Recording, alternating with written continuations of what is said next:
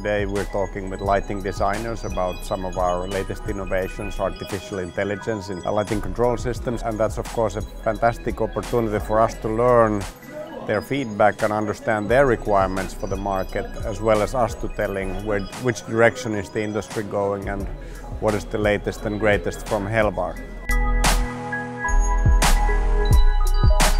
It's important for me to understand what I'm talking about when I'm going to a client and then having the relationship with whoever I'm going with, whether it's Helvar or anyone else, that I know that there's someone behind me backing me up if something goes wrong and then I can confidently say that this is going to work and we can deal with this.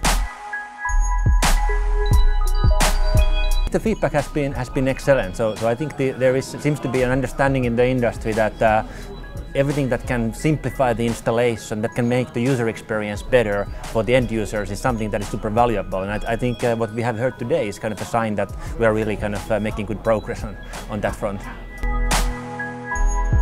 We have nice, nice solutions like ActiveAhead, uh, what can be used already today, which uh, use artificial intelligence.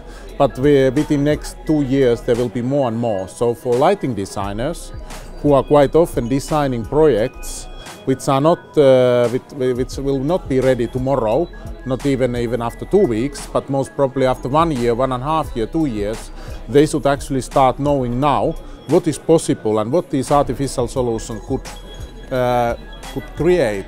Actually, I think most important thing there is that they can they can create better user experience for end user, and that's I think uh, should be the one of the main tasks for lighting designers.